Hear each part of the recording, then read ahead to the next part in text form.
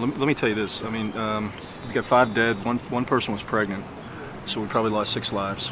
Um, yesterday, the, the, the murders were planned. They were calculated, brutal. Um, we haven't seen something like this for quite some time.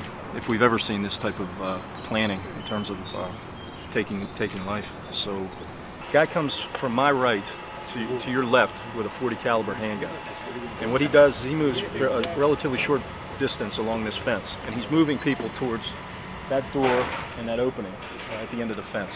There's a guy already down there with a, a 762 caliber weapon. And as they get into range, he's shooting high. He shoot their headshots. So it was premeditated. It was calculated. It was planned.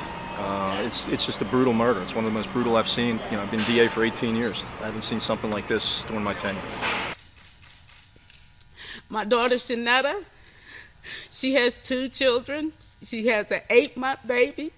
She has a six-year-old son, and she was pregnant, eight months pregnant and I have to tell her two children and, and make sure that they know the memory of their mother. My niece Tina, she has five kids.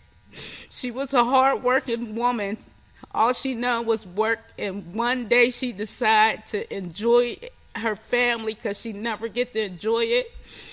She lost her life. And for these shooters out here that's taking these innocent lives, you just didn't take innocent lives. You made children lose their parents. You got to stop it now. Whatever you do, put it down. It's not even, it shouldn't even be that that that important to have to take somebody's lives and make these children have to grow up without their parents.